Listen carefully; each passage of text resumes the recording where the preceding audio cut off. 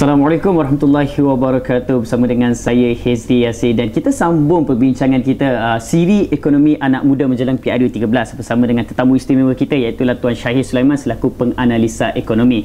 Baik, kita sedang membuat perbandingan ya uh, iaitulah uh, uh, manifesto BN dan juga Pakatan Rakyat ya dan ya. kalau hasil perbincangan pertama kita tadi lebih kepada sama ada rakyat ni dibantu ataupun dibebankan dan itu yeah. adalah lebih kepada sara hidup. Yeah. Namun yang kedua ini kita nak sebut lebih kepada hutang ya, hutang, hutang. isi rumah. Mungkin yeah. Tuan Syahir boleh kongsikan apa yang dikatakan dengan hutang isi rumah itu dan uh, adakah ianya uh, hasil perbandingan manifesto tu adakah ia lebih membawa pendapatan atau lebih hutang kepada rakyat okay. khususnya anak muda? Komen okay. tuan. Terima kasih pada Dara Hizri.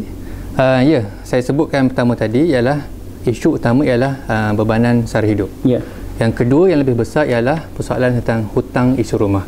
Hutang isu rumah ni kita boleh simpulkan bahawa segala bentuk pinjaman yang kita ambil dalam konteks biasanya ialah pinjaman perumahan, mm-hmm. pinjaman kereta, mm-hmm.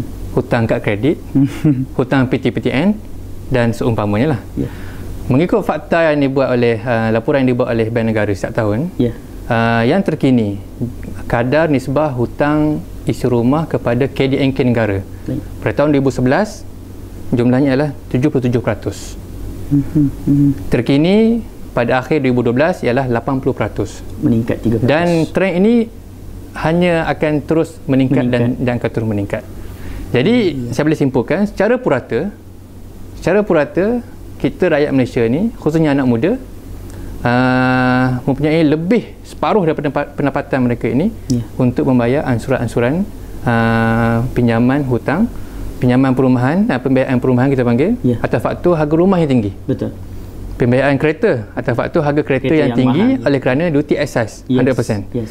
dan juga hutang kad kredit atas mungkin atas faktor uh, uh, gaya lifestyle masing-masing sekarang ni betul. dan juga kita panggil sebagai hutang uh, luar jangka yeah. ataupun pajak kadai PTPN dan, dan seumpamanya yeah. jadi dalam konteks hutang dan pendapatan ni yang lebih kritikal ialah kita yang tinggal di bandar betul kerana dalam ekonomi ada dua jenis kemiskinan kita panggil uh, rural poverty kemiskinan yeah. luar bandar yeah. dan kemiskinan bandar urban poverty. Ya. Bagi kita yang tinggal di bandar, pendapatan isu rumah RM3,000 ke bawah sebulan, kita laporan Bank Negara sebut kita lebih berisiko untuk berhadapan dengan situasi kelembapan ekonomi.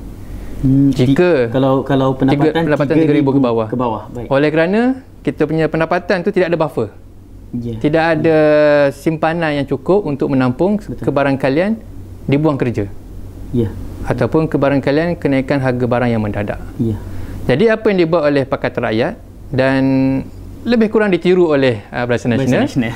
uh, untuk kita kurangkan duty asas kereta sebanyak 20% hingga 30% dan juga kita tambah rumah mampu, mampu milik. Mm-hmm. Saya boleh buat kesimpulan secara generalnya ialah jika mana ansuran bulanan kereta dan uh, rumah biasanya dalam sekitar RM2,000 sebulan. Yeah. Jika pengurangan harga itu 20%, ansuran pun boleh turun dalam 20%. Betul.